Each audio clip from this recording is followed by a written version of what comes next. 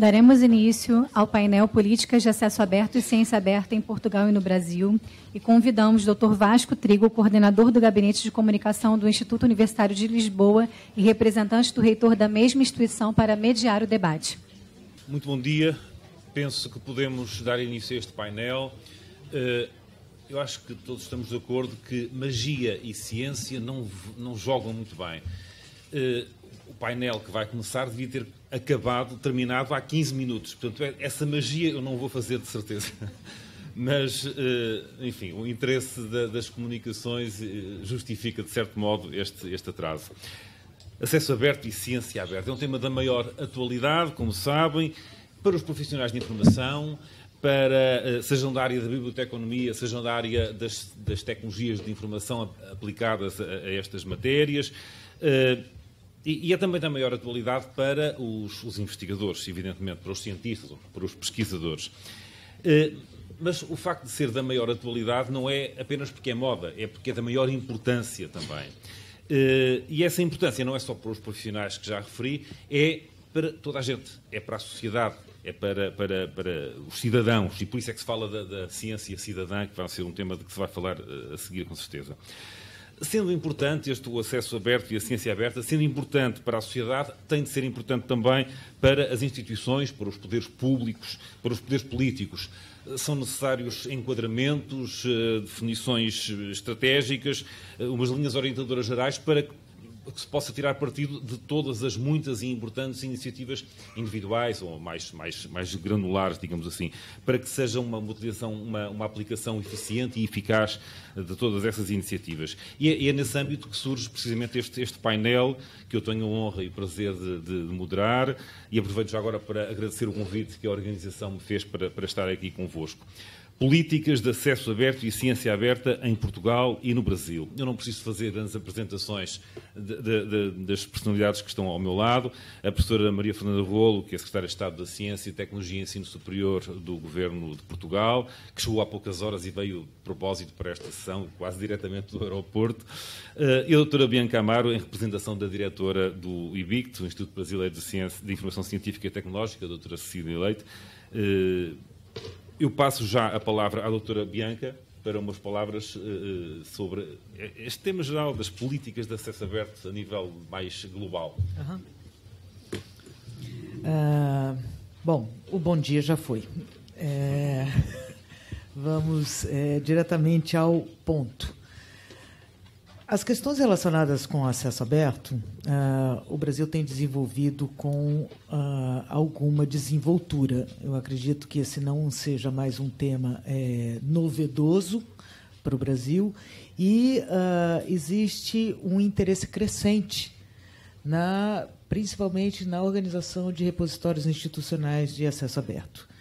Nós ontem tivemos, inclusive, é, uma, duas reuniões uma da criação da Rede Sudeste de Repositórios, uh, que foi um, um, sucesso muito grande. Uh, e pela tarde nós tivemos uma reunião da Rede Brasileira de Repositórios. A ideia, basicamente, em termos de atuação institucional, é reunir os esforços para que, um, que todas as instituições possam uh, auxiliar umas às outras e compartilhar os seus sucessos e também, principalmente, também seus fracassos. Ou seja, a ideia é o um estabelecimento de um trabalho conjunto dessas instituições para que a gente possa, mais que nunca, organizar a nossa documentação científica e disseminar essa nossa documentação é, mundo afora, em bom português.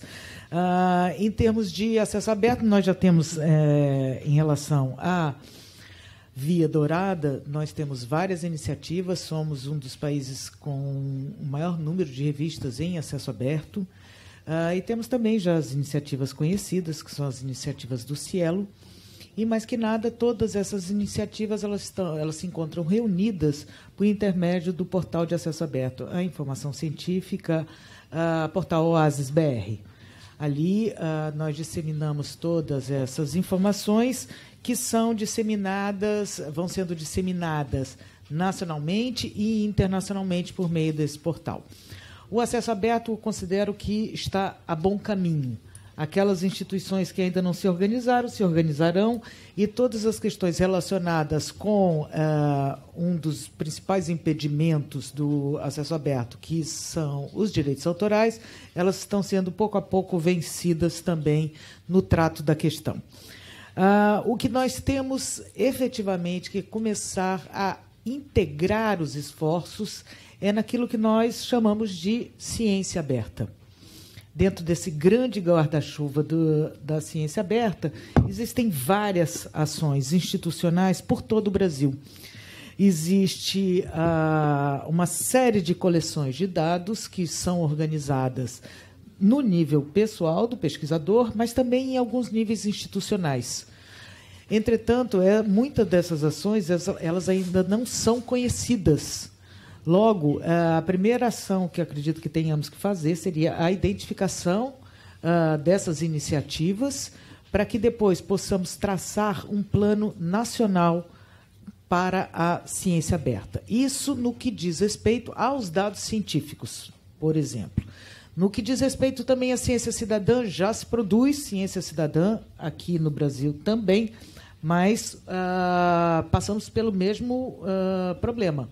São iniciativas que nós ah, desconhecemos no nível integrado e que teremos que ah, mapeá-las para que, ah, de uma certa maneira, assim como fizemos com o acesso aberto, desenvolvamos é, ações nacionais, estrutura e ações nacionais nesses dois é, grandes sentidos. É, nós temos também desenvolvido, em termos de ciência aberta, não são poucos os estudos que já estão sendo desenvolvidos, estudos e pesquisas relacionados com a ciência aberta. Ocorre que, é, como eu venho dizendo, é, o nosso grave problema, acredito que o primeiro passo que tenhamos que dar é um processo de mapeamento. Porque muito se está fazendo já, e, uh, mas esse, esse trabalho ainda não está unificado, com isso a gente não consegue trazê-lo à luz. Temos um grande desafio, que agora se tornou maior ainda, que é, uh, algum dia conseguirei isso antes de morrer, que é a aprovação da nossa lei de acesso aberto. Agora a questão ainda ficou mais complexa, porque, afinal de contas, a gente eh, terá que batalhar por uma lei de ciência aberta, englobando toda a ciência uh, como um todo, toda a atuação na área científica. Mas uh, eu acredito que cada vez mais as instituições científicas brasileiras in, se integrando nessas ações, desenvolvendo essas ações de ciência aberta, ah, nós consigamos, eh, unidos, vencer essa questão e finalmente uh, ter a nossa legislação nacional de uh, ciência aberta, ou de acesso aberto e ciência aberta. Como eu falei para vocês, uma das nossas grandes estratégias foi a atuação em rede. O Brasil é enorme uh, e, no nosso caso, o IBICT é, é um só. E temos dimensões continentais.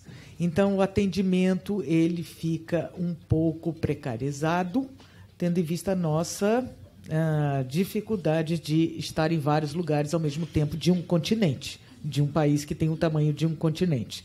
Então, a estratégia utilizada uh, foi a reunião regional das instituições que estavam trabalhando ou tinham interesse em trabalhar com as questões relacionadas com acesso aberto. Isso se estende, obviamente, agora não somente com ah, a questão dos repositórios de publicações, mas agora se estende também com os repositórios de dados. E assim eu acredito que, nunca melhor dito, a união faz a força. Uh, nós somos complementares, algumas instituições elas dependem de uh, auxílio, outras são mais desenvolvidas e podem auxiliar o desenvolvimento das demais uh, instituições, porque todos temos a ganhar. Só temos a ganhar nos estruturando e mostrando ao mundo a nossa ciência, porque isso nos trará, obviamente, um maior intercâmbio entre as nossas pesquisas e os nossos pesquisadores. E também, por que não dizer, uma maior valoração daquilo que a gente tem feito em termos científicos aqui no país. Ah, temos muitos, muitos desafios e não somos os únicos, ou seja, todos os países que estão trabalhando com a questão ah, da ciência aberta, especificamente com os dados abertos, têm imensos desafios. Com o acesso aberto, nós tínhamos um grande vilão, nós temos ainda, né?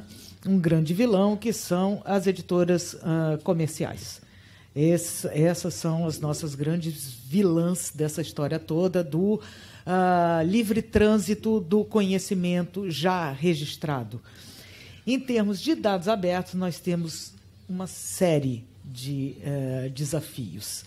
Esses desafios estão relacionados com as editoras também. As editoras têm que estar sempre presentes, porque já é uma tendência natural a criação de revistas de dados.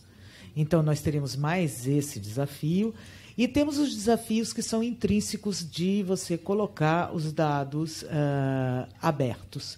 Que, basicamente, eu acredito que uh, um dos maiores problemas será mudar uma cultura, mudar a cultura do pesquisador, aonde a mim me parece muito interessante todo esse movimento de acesso aberto, é, porque ele se baseia em algo muito simples, que volta a ter o seu valor, que é aquilo que é desenvolvido com recurso público deve ser público. É recuperar o sentido de público. E isso terá que ser lembrado a todos os pesquisadores também, que têm um carinho muito especial pelos seus dados, um carinho é, é meu, é meu, fui eu que coletei, então ele é meu ah, ele será sempre seu em termos de atribuição. Nós sempre atribuiremos a sua paternidade. Entretanto, a, a sua circulação é deixe a, a criança livre, porque a criança tem que ir para a vida. Ah, então teremos que mudar essa cultura. Ah, sei que não será nada fácil. Ah, teremos que lidar com questões éticas relacionadas a determinados tipos de dados, isso não há a menor uh, dúvida. E temos um grande desafio, quem trabalha na área de informação, e grande parte de nós trabalhamos na área de informação, que é a organização desses dados uh, em meio uh, das inúmeras tecnologias uh, existentes. Principalmente para que a gente atinja o nosso objetivo maior, que é a interoperabilidade. É interoperar com outros sistemas, com todos os sistemas do mundo, se possível for. Porque, ah, dentro daquela linha que nós estamos recuperando determinados conceitos, como disse Luiz Fortuna, ah, como tem dito também a secretária de Portugal, a ciência é um bem público, é um bem comum então, nós temos que livrar-nos destas amarras uh, que cada vez ao longo do tempo fomos criando em termos científicos, uh, para pensar que a ciência é um bem público universal e não nacional. Bom, os desafios estão aí. Uh, existem muitos desafios também relacionados com, dentro desse guarda-chuva da ciência aberta, com a ciência cidadã nós temos que apro aproximar o cidadão da ciência. Existem projetos muito bonitos sendo realizados também no Brasil. Outros provavelmente também são realizados que eu não sei e que precisamos identificar. Então, a ideia é que demos um passo a mais. Estamos é, muito é, integrados e vinculados ao acesso aberto a documentação científica. Agora temos que dar mais um passo. É organizar e disponibilizar os nossos dados científicos. É, respirem fundo, porque uh, eu, me, eu me lembro que, inclusive, eu tive aqui na Fiocruz, eu acho que por volta de 2010, uma coisa assim, falando a respeito da, da, do acesso aberto. Devo dizer que as reações dos pesquisadores não foram lá muito boas. É, todo mundo ficou um pouco receoso, dizendo: é, terei que mostrar tudo o que tenho da minha produção. Será mais uma coisa que vou ter que fazer na minha rotina de pesquisador? Bom, eu sou muito sincera. Quem me conhece sabe que eu sou muito sincera. Eu disse: é. e eu não menti para vocês. E o mesmo eu estou fazendo agora em relação aos repositórios de dados. É, se você não tem, não é uma praga, mas você terá. Ok? Muito obrigada.